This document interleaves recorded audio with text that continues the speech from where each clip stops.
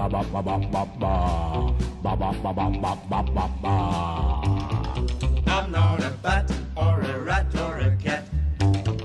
I'm not a gnu or a kangaroo.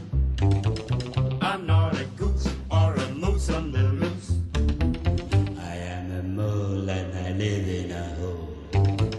I'm not a cow or a chow or a sow. Mole! Bloody mole!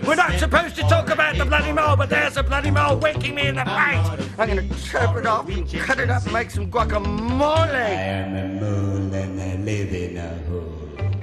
Yak, yak, quack, quack, five ball a roast. You're the sweet cheek I dig the most. I'm not a round or a clam or a Naked. lamb. I'm Mole not a rats. hog or a frog They're or a naked. dog. And they're I'm mole not rats live here, in Africa.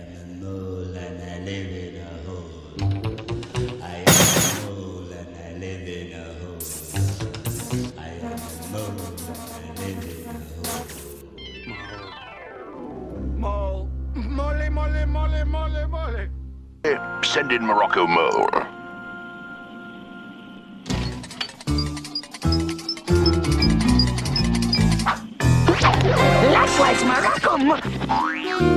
Wait a minute.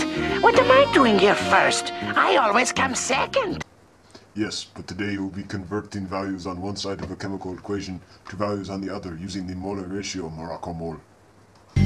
For me? But why? Government regulations state That all calculations must be done using a mole, and as you are a mole, we must use you. Unfortunately, that means I have to use you.